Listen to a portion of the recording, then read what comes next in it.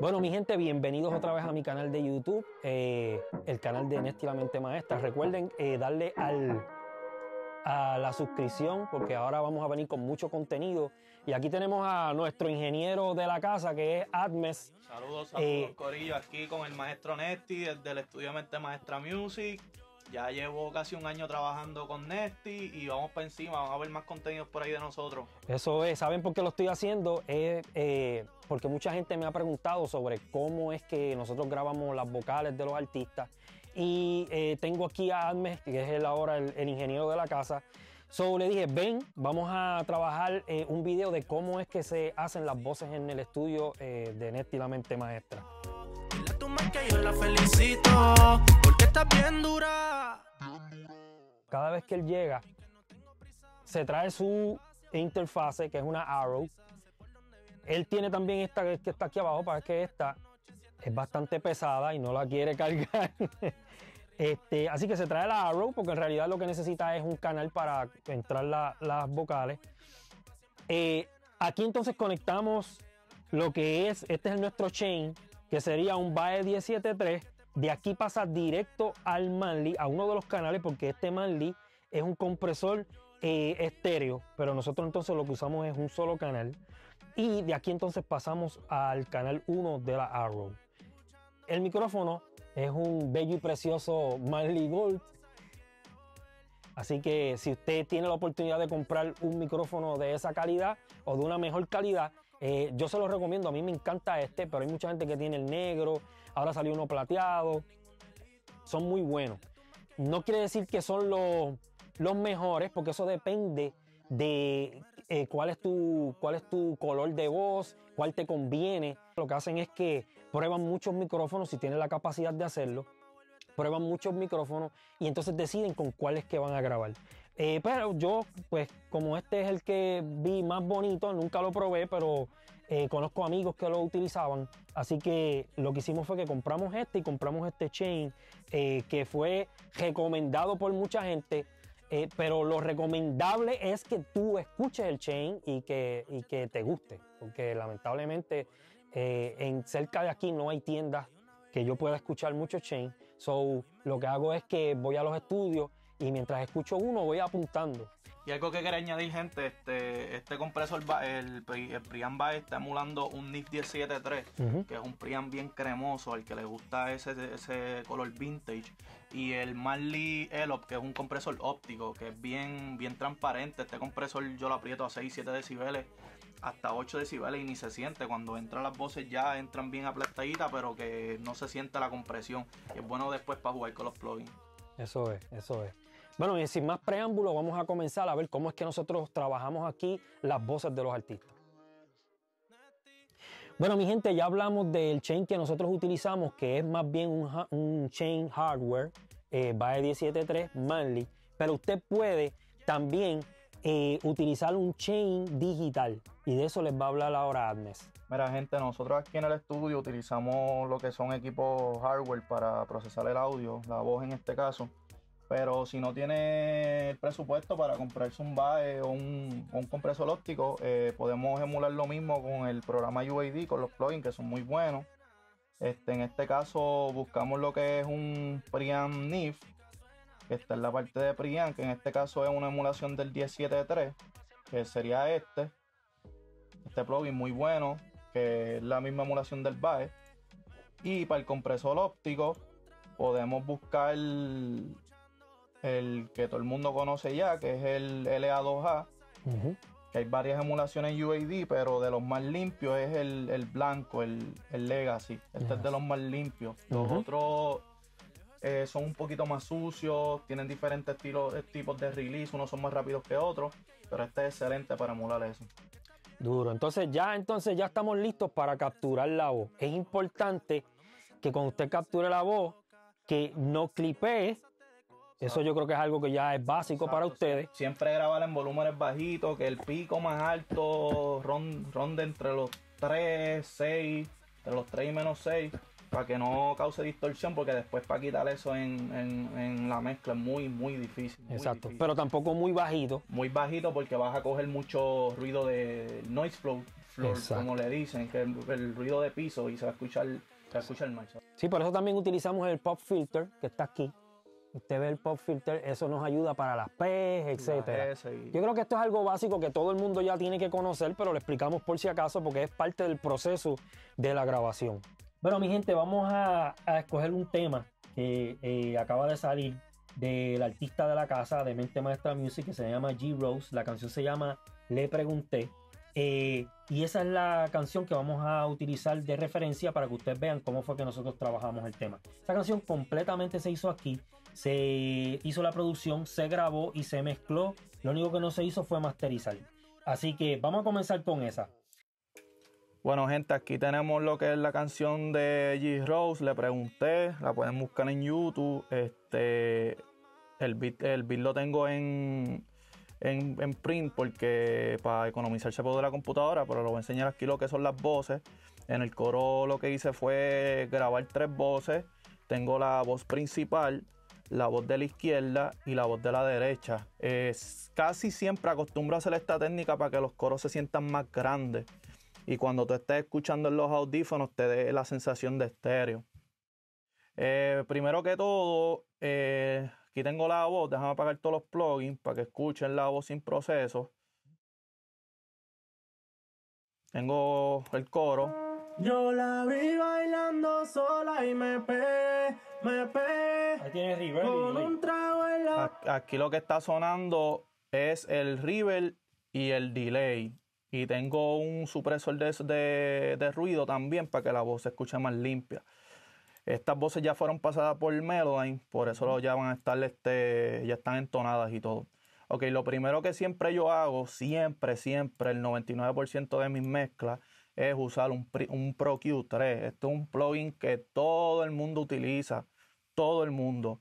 ¿Por qué? Porque este plugin, yo lo que hago es buscar las frecuencias que no me gustan. Nunca hago esto, gente, nunca hago esto, porque esto lo que puede hacer es dañarte el oído. Este plugin, tú lo que haces es, le das esta opción y escuchas el audio, lo vas pasando por el lado y vas buscando las frecuencias que no te gustan. Las buscas y las vas bajando. no escuchándote bote. Siempre hago esto. En este caso, eh, la frecuencia es 243 más o menos. Eh, no- notaba que había un poquito de mucho bajo y le apliqué esta técnica, pero siempre la uso bien poquito. Como se pueden fijar aquí, la tengo en compresión dinámica, este, eh, bajando 2 decibeles más o menos. También encontré que en la frecuencia 734 aproximadamente escuchaba la voz muy nasal. Se escuchaba muy nasal y, y quería que no se escuchara tan nasal y apliqué, apliqué el, el EQ dinámico en esa área. Hay veces que en vez de EQ, eh, EQ dinámico lo que utilizo es este, un EQ normal, le quito frecuencia y ya todo depende de la voz y el estilo de- del cantante. Explícale rápido lo que es dinámico y normal. Ok, eh, EQ dinámico es un compresor, pero en cierta banda. En este caso, si yo quiero aplicar un EQ dinámico en esta banda, lo bajo aquí. Como ustedes pueden ver, aquí, aquí está bajando, está comprimiendo esa, esa frecuencia.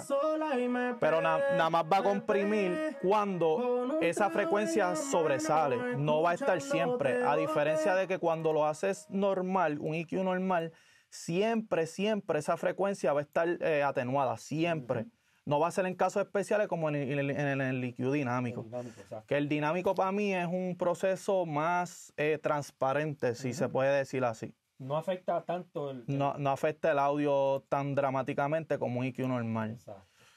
Ok, segundo proceso que tengo aquí, que es un plugin bastante nuevo, le diría que tiene en el mercado alrededor de 8 meses más o menos. El rico y sabroso Solid State Logic. Un Solid State, este es de la compañía Brainworks. Excelente pro- plugin, yo soy bien fan de los plugin, plugin Se los Brainworks. recomiendo, por favor, envíennos gratis a esta gente. de- Eh, plugin Alliance, para mí, de las mejores compañías que hay. no nos están pagando por si acaso. Sí, esto es gratis. Este, este plugin siempre, bueno, no siempre, la mayoría de las veces lo utilizo para darle brillito a la voz. En este caso le estoy dando brillito en los 10 decibeles, en los 10K, perdón, en los 10K. Yo la vi bailando sola y me pegué. Esto sin el plugin. Con un trago en y esto es con el plugin. Aquí le subí 6 decibeles y medio porque quería que le diera ese brillito. Entonces otra frecuencia que me gusta es resaltar es de la frecuencia mil- 1500 a las 2500 más o menos. Siempre me gusta resaltar esa frecuencia porque le da a la voz presencia. Y, y ahí es donde es la inteligibilidad de la voz. Ahí es donde se entiende todo, todas las palabras bien y todo eso. Estas frecuencias son excelentes y siempre en este plugin nítida. Aquí en este caso, en las bailando sola y 1600, me le subí me pegué. 2.7 decibeles. Como pueden ver, Si, si la aplican mucho, se va a escuchar muy telefónica y no queremos eso. No queremos eso.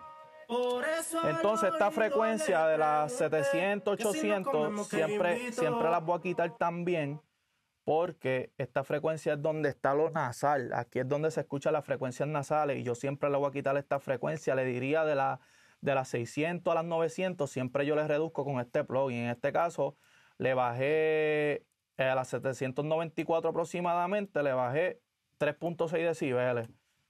Yo la vi bailando sola Escucha la frecuencia ahí. Es muy fea esa frecuencia y no la queremos. Siempre la bajo un poquito, no mucho, porque se va a escuchar hueca la voz. No queremos que se escuche hueca. Entonces, otra frecuencia que no me gusta para nada es de las 100 a las 300. Esas frecuencias son las frecuencias booming, como le dicen por ahí. Esa frecuencia hace que la voz suene encajonada, si es la palabra que se puede usar. Y ahí lo que hacemos es, yo le corté las 235 en esta ocasión. Recuerden que no todas las voces son iguales. En esta ocasión fue 235 Hz, pero en otras voces puede ser 300, 180, todo depende. Ahí está tu oído. Y eso ha oído. Aquí le bajé 5 decibeles aproximadamente a esa frecuencia.